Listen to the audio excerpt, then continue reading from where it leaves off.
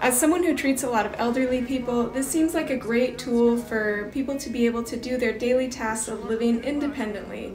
It's not made for people like you.